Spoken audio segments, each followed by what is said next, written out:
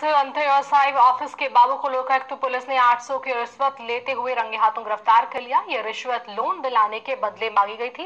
Loan के लिए फरियादी पिछले कई महीनों से चक्कर लगा रहा था। 2000 की रिश्वत लेने की नीयत से बाबू से एक महीने से लगातार चक्कर लगवा रहा था और इसके बाद परेशान होकर फरियादी महेश उज्जैन लोकायुक्त तो एसपी गीतेश गर्ग के पास पहुँचे और अपनी आप बेटी बताया जिसके बाद से कार्रवाई की गई।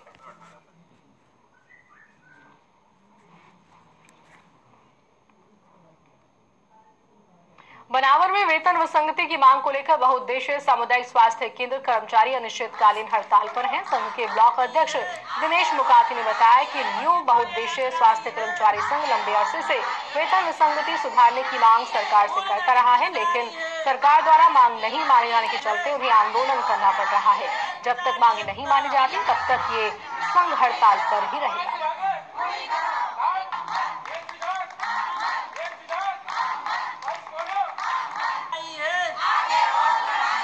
धरना हमारा वेतन विसंगति की मांगों को लेकर चल रहा है। कब तक चलेगा और क्या क्या मांगे? ये सात तारीख से अनिश्चितकालीन हड़ताल पे है हम लोग और अनिश्चित चलेगा। जब तक सरकार हमें और हमारी मांगे पूर्ण रूप से मान नहीं लेती तब तक हमारी हड़ताल जारी रहेगी। जब तक भी वेतन विसंगति दूर नहीं रहेगी जब तक हड़ताल पे रहेंगे हम।